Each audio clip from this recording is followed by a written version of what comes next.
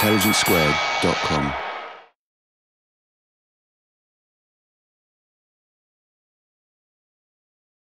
Thank you very much, Edward. Thank you very much, ladies and gentlemen, for being here.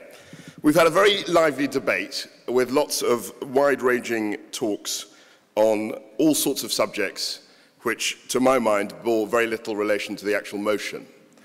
So we had a lovely description of Stoke and the potteries there, and the lovely ceramics, um, which I'm sure everyone appreciates.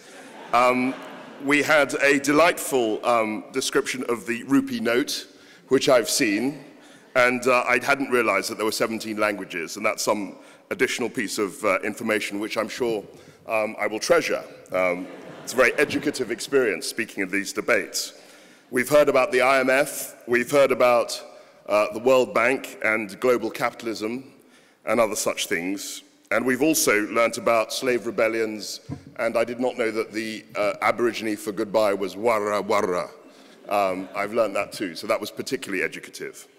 But what I would like to um, focus the uh, attention of uh, you, uh, ladies and gentlemen, is on the actual motion, is on actually addressing the question, should Britain's former colonies stop blaming the empire uh, for their ills? And clearly the case uh, in the last 30, 40 years of international history shows that the very nature of imperialism itself, the British imperialism, led to difficulties, led to structural imbalances, if you like, which have massive repercussions today and deeply affect the world that we live in. That doesn't mean to say that these countries would have been lands of milk and honey if there hadn't been an empire. But it does mean that some of the problems that, that we face today as a global community and some of the specific problems that are faced uh, by countries, by places like Kashmir, by Nigeria, by Sudan, uh, and other places, for instance in Iraq and uh, among others, have a direct uh, cause are directly uh, a direct result of the British imperial experience. And it's not good to say, it's not good enough to say that because Saddam Hussein uh, blamed the British Empire, that that means the British Empire was a good thing. Because just because someone says, uh, makes an argument, it doesn't discredit that argument. Saddam Hussein actually nationalized Iraqi oil.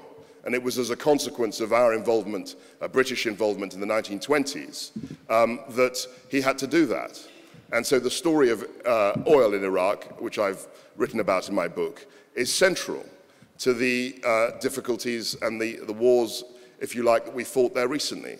So that's a clear example in which the British imperial experience had a direct uh, consequence uh, today. Uh, we also witnessed this year the birth of the Southern Sudan, the Republic of Southern Sudan. Now, that country was engaged in pretty much a 55-year civil war against the North in order to establish its independence. Now, why did that happen? Why did they feel that they had to fight for their own independence uh, within Sudan and actually break away from that country? Well, that was a direct consequence of British imperial policy in the 1930s, the so-called Southern policy, which meant that the two uh, parts of Sudan, the north and south, were split and run very differently, only for that policy to be reversed in 1946 and for the two parts to be yoked together uh, in a very uh, unstable uh, union. Uh, and the consequences of that have been a 55-year civil war on and off. Um, I mean, 55 years continuous fighting is a very long time, so they, they did take a breather, actually, um, I think, between 1973 and 1982. But, the, but flippancy aside, this was a serious conflict which had direct uh, uh, roots in the British imperial experience. So anyone who reads the papers, the newspapers today, anyone who's uh, traveled around in former colonies will know uh, and have direct experience of the legacies of British imperial rule. Now, we, I suppose, uh, within the motion, we can come to the notion of blame. And uh, one, um, one speaker, uh, whose offering I enjoyed very much, suggested that um, they, of course, they've stopped blaming Britain because they blame America. Um, and so they've sort of forgotten about the British imperial uh, experience and now have a new enemy, a new target. Uh, that's pretty much, uh, in, in many ways, it's true. But they are also mindful, even though they know that America is very powerful, they are also mindful of their own history. And even if um, a large number of uh, Indians under the age of 25 haven't heard of Mahatma Gandhi, um, I can assure um, I speak here that a lot of people in Africa have heard of Winston Churchill, they have heard of um, the governors that uh, ruled in many ways uh, th those countries.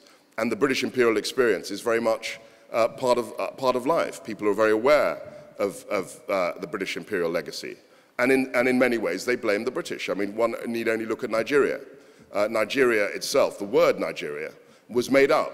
It was made up by a woman called Flora Shaw. And you can actually identify the very date on which it was created, in April 1897. It appeared in, the, uh, in an op-ed piece, an editorial piece of the Times. This was an entirely artificial construct of something like 250 different tribes, banded in three broad, broadly different regions. Now, people remember the Biafran War. Um, there's been a lot of literature about it. There's an excellent book called Half a Yellow Sun, um, which uh, recounts the experiences of the war. But that war was very uh, fresh in people's minds. And surprisingly, perhaps to some people in the audience, people blame the British uh, for, for that, because Nigeria should never, in, in many ways, have been one united country. And as a consequence of that colonial experience, there are um, repercussions today. There isn't, a there isn't a strong sense of the state because people have different uh, tribal or familial uh, ties. Um, they, have, they don't have a particularly strong sense of um, the probity of public officials because the state is weak and people feel that corruption or state employment and gaining uh, money through state employment is a legitimate means uh, to proceed. That's a direct consequence of the creation of this artificial country. So there are, there are lots of examples in the world today. People here are very familiar um, with, with global politics, I'm sure. And obviously, um, it is the case that British imperial, uh, the British imperial past, the colonial adventure, if you like, um, directly caused uh, a lot of these structural problems, directly fueled, if you like, a lot of the ethnic hatreds and animosities um, which uh, divide these countries. And lastly, I would look at Kashmir. Uh, Kashmir is probably the country or the tract of land which is most likely to lead to nuclear war. I'm not saying nuclear war is going to happen, but if, if it does happen, the most likely place where it will break out is over Kashmir. Now, Kashmir, the situation in Kashmir was a direct consequence of a British policy, uh, not only to sell Kashmir to a Hindu Maharaja, which took place in 1846, but also 100 years later, it was decided that the Maharaja would have sole discretion, if you like, his sole judgment uh, would be relied on to decide which country uh, Kashmir would accede to whether it would be Pakistan or India. And the Hindu Maharaja, in a population which was overwhelmingly Muslim, 80% Muslim, decided, uh, well, he actually, he wanted to be independent. And when he was told that that wasn't uh, an option, he, he sulked for about three days and then decided to go with India. But that had huge repercussions uh, for, for today's uh, political arena. And do people in Kashmir blame Britain? Of course they do. They blame Britain for the fact that this Maharaja had sole discretion and was a Hindu in a predominantly uh, Muslim country. They blame Britain and the UN for the fact that no plebiscite uh, was ever held, so they could never actually determine um, which country their destiny should lie with. And so all around the world today, we have direct consequences of uh, British imperial uh, malfeasance, miscalculation, uh, if you like. And it's a consequence of those uh, miscalculations that, that, that, colonies should, I think, continue uh, to blame some of their ills, at least, on the legacy of British imperialism. Thank you.